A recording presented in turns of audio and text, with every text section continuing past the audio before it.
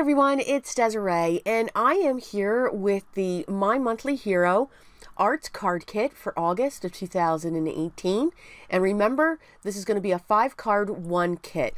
I know, but it is. Five cards, and they're all going to be in this video. I loved the theme of this card kit. I am a huge coffee fan. Starbucks is mine. So let's get started with card number one. So in all of the cards, I did do some of the cutting and the coloring and the fussy cutting um, prior um, to these videos, just to save some time. So you can see I've already colored the fancy mug and I used my Prismacolor alcohol markers. And I've pulled out my Memento black ink and I'm going to do some stamping and masking. You can see I have my masks off to the right there and ready to go. So I'm going to stamp my first two images because those are the two images that I want to that I want to come to the forefront. Um, so when you do that, you want to stamp those images first, and then you're going to put your masks down, and then you're going to stamp where you want your other images to be. Now the masking paper that I'm using is by Simon Says. Um, so far I like it. I think it's got a very good bond um, so I'll be able to put it through the test eventually um, when it comes to doing backgrounds. So that's always the test for me. Um, if a masking paper can withstand that, it's a good masking paper. Absolutely. So once my masks are in place, I'm then going to stamp my other images. Now, remember, they're actually going to be towards the back, so I'm also raising them just a little bit, stamping them higher than what the other two mugs were. It's almost like, you know, when you see something on a table, even though, you know, if one's in the front, one looks higher than the one that's closest to you. Once I have all my images stamped, I'm going to remove the masking paper. I'm going to save the other ones. Wasn't quite sure if I was going to use them. But I did use the die, and it's okay. I'm a little off with the die because there is a die for that coffee mug. And I chose my sentiment to sit inside this coffee mug, mug, muck. And it says, take a break. Because we can always use that. So the alcohol markers that I'm using for the rest of these mugs are the warm shades of gray. I don't know, it sounds like a novel, doesn't it? and I chose the 30, 50, and 70%.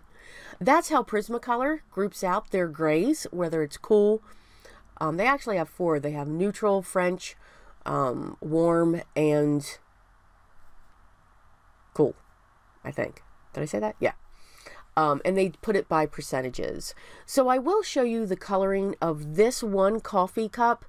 I am starting out with my light color, mapping out a friend of mine taught me that. Map out where my shades are going to be. I believe that's close to the phrase that she uses. And then I'm coming in with my darks. I have found that when it comes to alcohol marker coloring, I am what I like to call a flicker. Um, I like to flip or flick my pen across the paper to get those um, stripes, I guess or differences when it comes to the shadow. Now, the person that I'm talking about, her name is Courtney Kreeber, and I want, I'm going to link her channel down below. She is alcohol marker. She is alcohol marker. She uses Copics, and she is a one layer card designer. So I encourage you to check her out. I hope you'll go over there and just show her some love because it is phenomenal what she can do with alcohol. And she's taught me a lot. So again, she'll be linked down below. So you can see the rest of the alcohol or the, the mugs are done in the grays. You know, I've looked back at my videos and there is. There's always one card that's black and white with a pop of color. And this is definitely it. So I've also added some grays coming off of those cups just to ground them so that now they're not floating.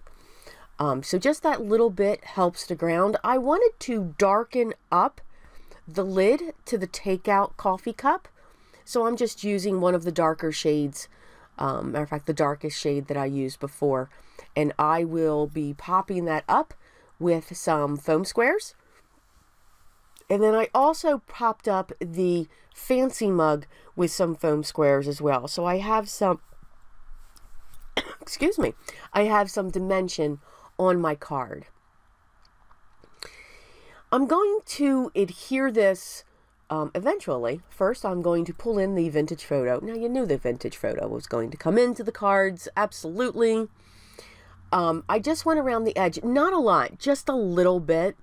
I'm going to adhere this to my four and a quarter by five and a half, this time a side folding card base. And all of my card bases are four and a quarter by five and a half. Now they can either be top folding or side folding. I grabbed the lacquer that came in the kit and I'm just going over where the coffee is in each of the mugs and then I'm also going to go over the takeout lid and just put some of the lacquer on that as well. Yeah, that's when I realized I should do that. Mm-hmm. You know, there's always afterthoughts, you know, but we can add at any time. That's the beauty of our craft and paper. So that is pretty much card number one.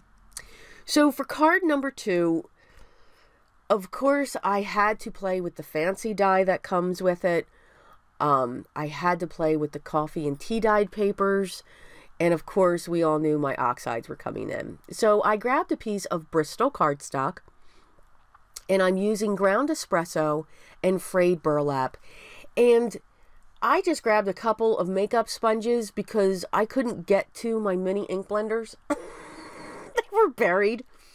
Um, so in a pinch, I'm not looking to blend because what's going to blend this is water. I'm going to add a ton of water and I'm going to let these oxides mix together on their own. Now, I didn't make this drenched um, because I kind of wanted to keep the texture that the that the inks give. So you can see there's a lot of water on this, but not so much because um, it's slowly moving. You know, it's not dripping right off. But I'm just going to keep turning this and getting those different textures throughout. If I feel that the inks are not moving, uh, the way that I want them to, then I'll just add a little bit more water to that area so that I can get them moving again. I want the, what I was looking for was to have that oxidation there. So I didn't use uh, my heat gun to dry that. I used, I, I just let it dry naturally. And you get these beautiful absolutely beautiful shades. I, I'm a very huge fan of the oxides. From that panel, I used a stitched square and I used one of the fancy dies. I'm now just going to use my tacky glue from Tonic and I'm going to adhere this right onto the coffee uh, tea dyed paper. Um, I wanted to give that some stability and I really liked using that paper as the backdrop. I know I've seen so many videos. I love to watch other videos. I'm I'm so inspired by what others create. Um, I love watching the process and and just listening to them. I really do enjoy it. Um, but I know I saw a lot of people actually used you know, markers to color this. And I thought it was really cute um, the way they did that. So, you know, there's a lot of inspiration out there. Um, so, again, always check it out. You never know what idea you're going to get. I'm going to use some fun foam to prop this up onto my four and a quarter by five and a half uh, top folding card base, and this will cover the whole front of the card panel. I grabbed my dark walnut Nuvo drops and I'm just going to add some accents coming off of the sign. Um, so they're going to trail up into the canopy of that card. The sentiment that I chose says life begins after coffee. I don't know about that, but I know I need a lot of coffee. My husband knows that if I don't have a cup of coffee in my hand in the morning, he should not speak to me. yeah, it's that way. So, for card number three, um, this one I enjoyed. I pulled out just my white Prismacolor pencil.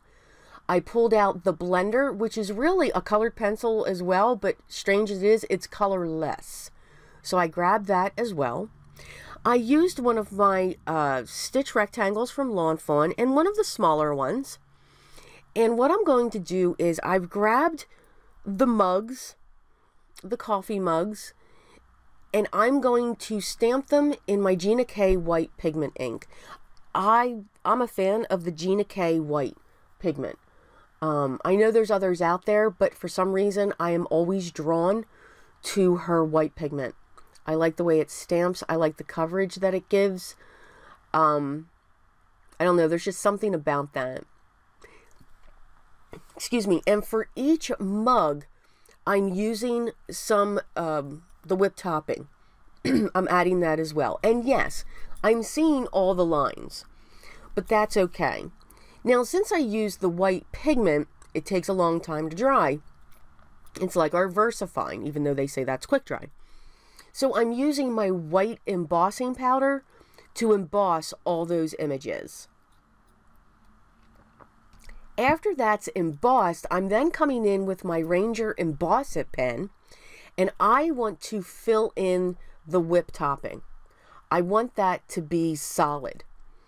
So I'm really using this pen and I just had to pull out the puffy embossing powder that was in this kit.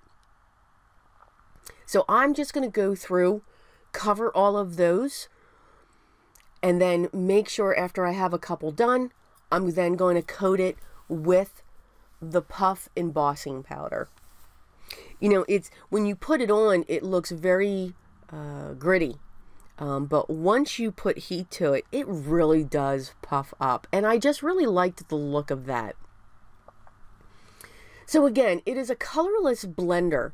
Um, they are sold separately. So I have a bunch of them. I have a tin, or excuse me, a jar that sits off the side of my table that literally just holds my blenders, um, and my white colored pencils. I have tons of them because I use those the most. Um, whether it's the Faber-Castell or whether it's the Prismacolors. Um, and my blend, my colorless blenders are in there. So you can see I'm taking that colored pencil and I'm just going on one side. Now, these images are all over, you know, they're upside down, they're on their side. So you're not going to have the same um, shadow that's going to come in. So what I did was for every mug, the shadow was on the left hand side. So the light source for every mug was coming in from the right, even though they're all over the place. I'm then taking the blender, the colorless pencil, and I'm going over the white colored pencil areas. And what that's doing is it's smoothing it out it's it's almost like Gamsol's going to do it more, but if you if you don't want to use Gamsol, if because you you're afraid of that odorless um, concern that's with it, then you want to go with that pencil because it, it's going to varnish. It's gonna it's gonna burnish all of that together and make it smooth and even out the color. You can still build on top of it, um, but not as much.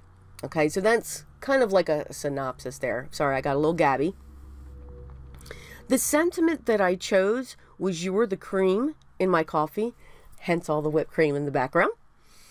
Um, and again, I stamped that in the white pigment ink and I used my white embossing powder just to help make that stand out. The white pigment, or excuse me, the white embossing powder that I used is by Recollections, and I get that at my local Michael's. So I grabbed my four and a quarter by five and a half top folding card base, and I'm going to prop, I'm sitting here thinking, there goes that finger, and I'm going to prop this panel up onto that card base.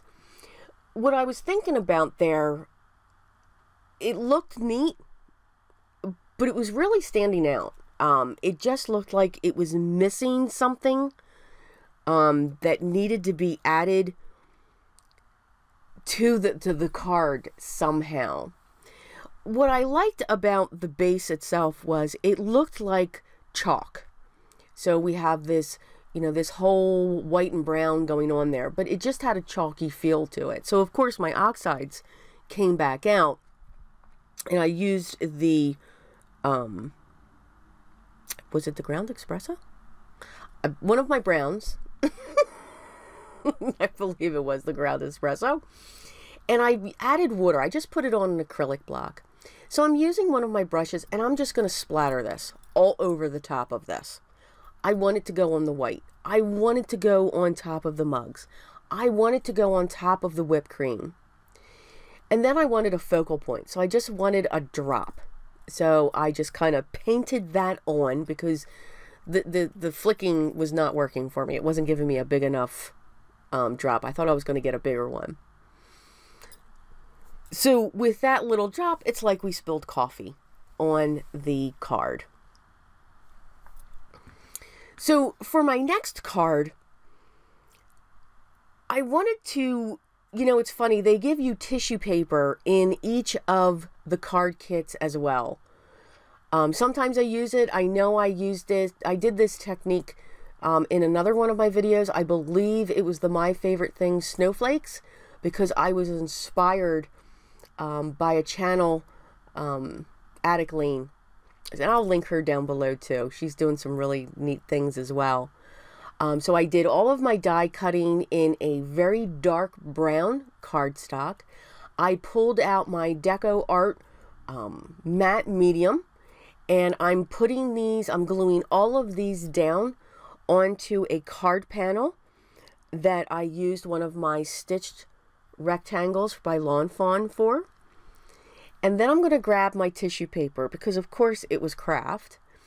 Um, so I'm going to make sure that this is still wet with the matte medium because I'm going to put my tissue paper right on top of that. Now, I didn't set it right so I could get it down in one shot, and that's okay. I'm just going over it with some more matte medium. I'm going to tear off a section there, making sure I'm not exposing any more of the white card.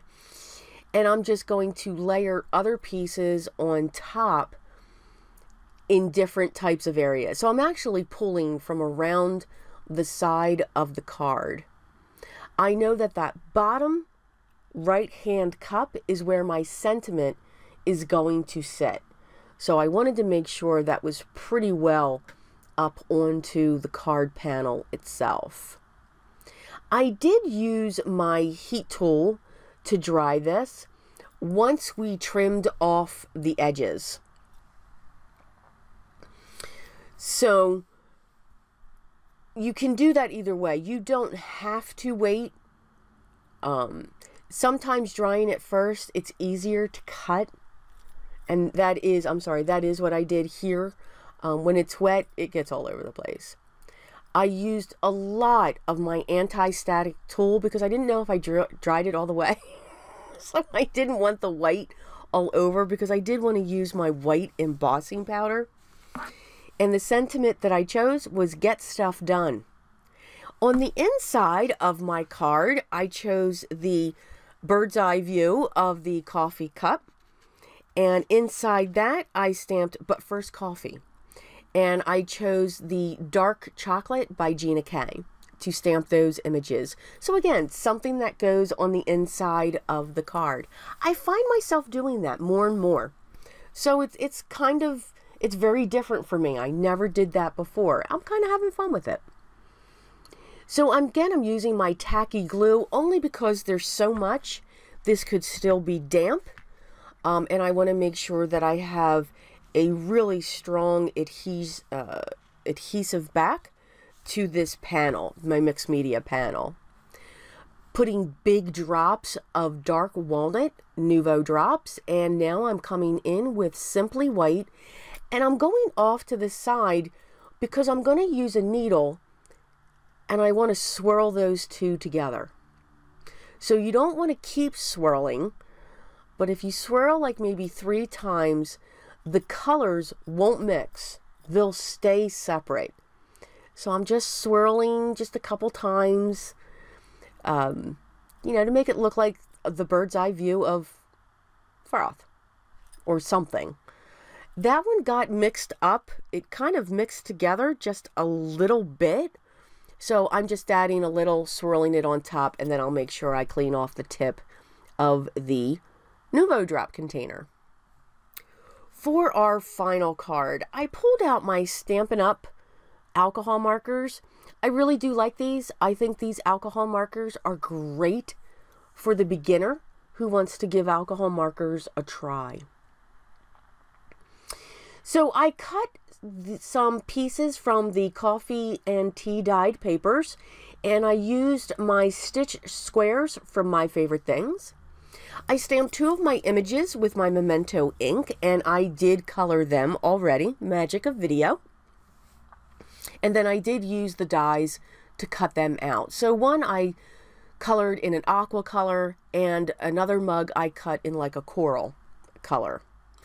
I'm going to adhere my squares onto my panel and for my panel I did use one of my Lawn Fawn stitched rectangle and with this being the last card I have to say the wonky stitch rectangle by my favorite things did not make an appearance. Oh my goodness. Oh, that's very surprising to me.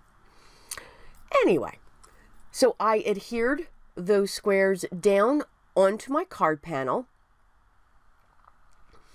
and then I'm going to look at the placement. So the aqua mug is going to be on the outside. So I just wanted to set that in place to make sure that I wanted to use one of the beautiful swirls um, that come up. Now I'm not sure if this was supposed to go, I think that was supposed to be for the top of a mug or something like that, but I just liked it for an outside swirl. so I used it for that. So once that was stamped, and I wanted to use my VersaFine because I wanted a really dark impression, I set my mug in place and I propped that up using some foam squares. The sentiment that I chose here is says thanks a whole latte.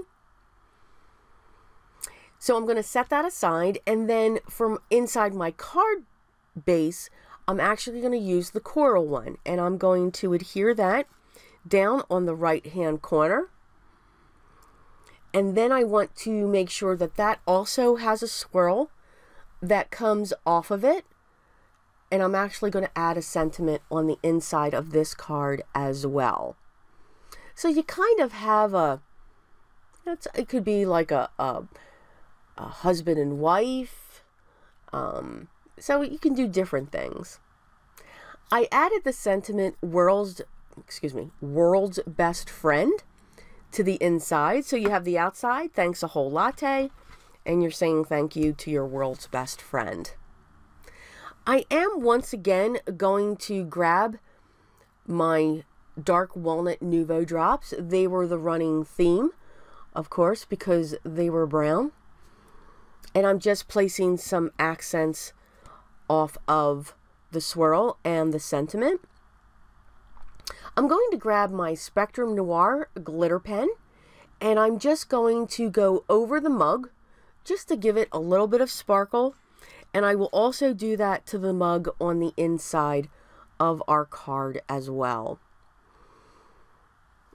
just to give it a little bit of accent. Now I did add some to the coffee on the inside, but I am going to use the lacquer pen for the one on the outside. I didn't want to take a chance of me forgetting not leaving that open and gluing my card shut. So I hope you did enjoy these cards. I really did have fun with them. Um, this one, I really did enjoy the theme um, because it is something that I really do enjoy. But of course, here are the close-ups in regular speed so that you can see them. Maybe you missed something in the video that kind of goes a little bit quick there. If you did like this video, hit the thumbs up. That lets me know if you like it or not. By all means, if you haven't subscribed yet, oh, please do so. I'd love to have you here as part of our group. Any questions or comments, make sure you leave those down below and I will get back to you as soon as I can. Just know that I do answer all of those comments down below as quickly as possible. All the products that I used outside of the kit will also be listed below. But you know what?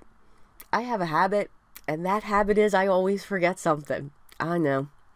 If I do, please let me know in the comments and I will make sure I get that link to you again as soon as I can. But I will get that link to you and update the video description. I hope everyone's having a great day. I hope everyone's enjoying their week. But always remember what's most important to me. Always be creative.